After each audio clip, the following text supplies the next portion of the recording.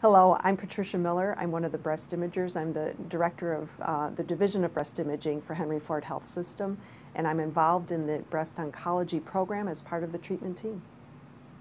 Our job is imaging of the breast, and so we will evaluate the cancer once it's diagnosed um, to help the surgeon plan the treatment. We communicate with the surgeons, we communicate with the oncologists, the pathologists, and it's not just in the screening phase, uh, it's throughout the whole phase, the screening, the diagnosis, and then afterward.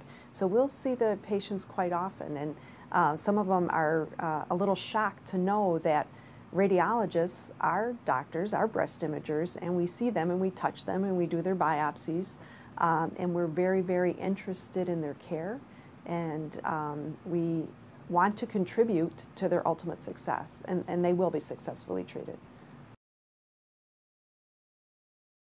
Most breast cancers are diagnosed either on a mammogram or uh, on physical exam when a lump is felt. So mammography is the study of choice for evaluating uh, breast cancer.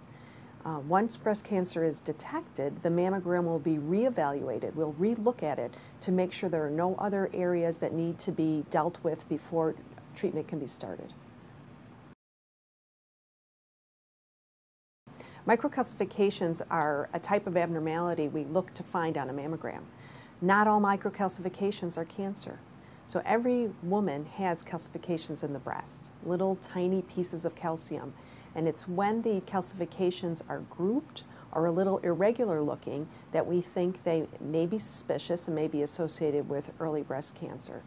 So once there is a diagnosis of breast cancer made, the mammogram will be reevaluated. One of the things we'll look for uh, are microcalcifications. We may need to do additional pictures of the microcalcifications, magnified mammographic images, and we may need to biopsy the microcalcifications to determine if there's anything else in the breast that needs to be considered before treatment is planned.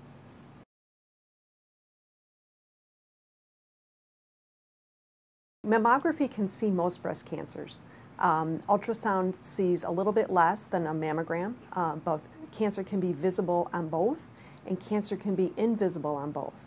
So on a mammogram, uh, a cancer can be invisible because it's covered up by dense tissue or because it looks like all the other normal tissue in the breast.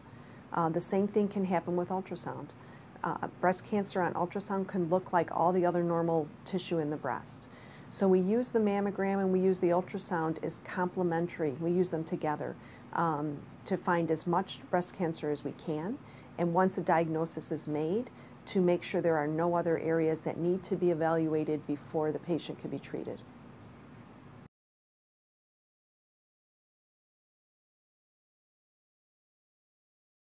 Radiologists are part of the breast oncology team that follows patients uh, during the diagnosis, during treatment, and after the diagnosis of breast cancer.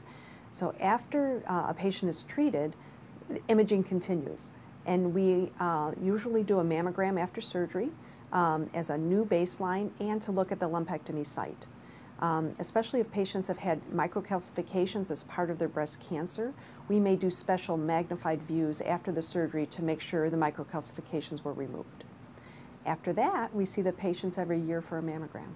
Every one year, um, we're looking for redevelopment of cancer um, or changes that uh, can be associated with the treatment itself.